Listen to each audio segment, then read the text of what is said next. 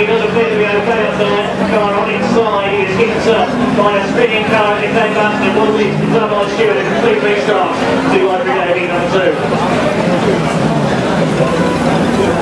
The fastest here. Team is the first man to go over